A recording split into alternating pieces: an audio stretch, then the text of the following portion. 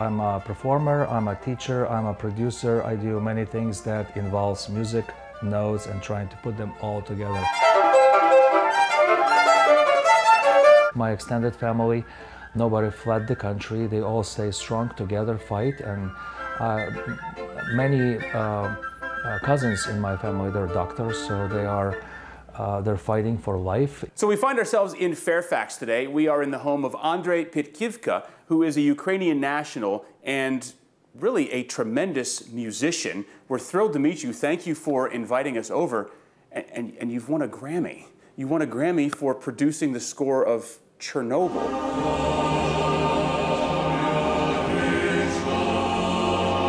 Вечная память uh, in Ukraine, uh, in Ukrainian, uh, which is the memory eternal.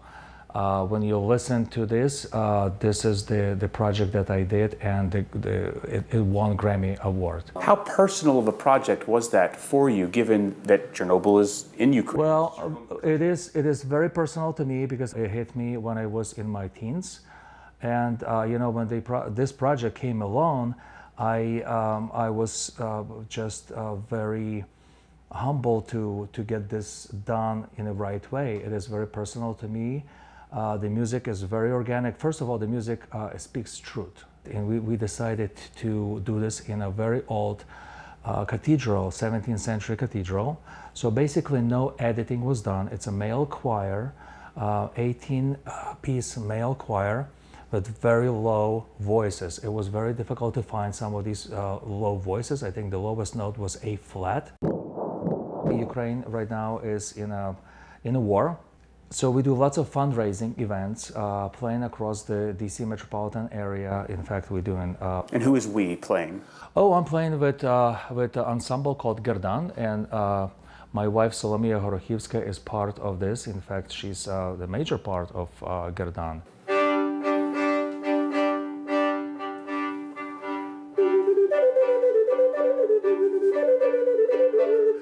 Wife Solomia Horochivska, we met about uh, 13 years ago. I performed with the Baltimore Symphony Orchestra. Uh, it was uh, kind of a joint uh, combination of uh, classical and folk. I would imagine, like most married couples, you all complement each other not only in marriage and life, but in music as well. Yeah, I'm, I'm his guitar when we play together.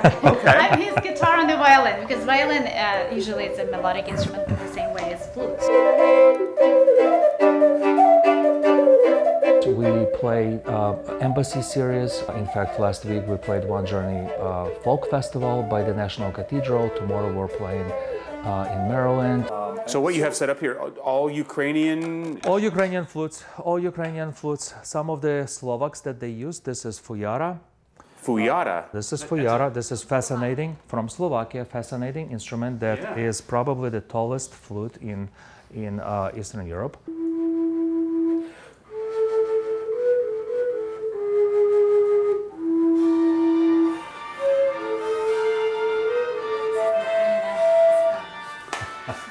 That's the Ukrainian national this anthem. This is Ukrainian national anthem. That's his ringtone.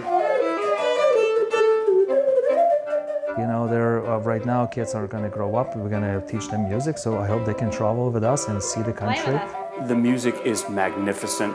Our hearts break for what's happening in your home country, but we're so glad that you're able to share this piece of it with, with America and with folks all across our country. Thanks so much for talking with us about this. Thank you. Thank you for Thank coming you for and come us. over again. We will play more music for you.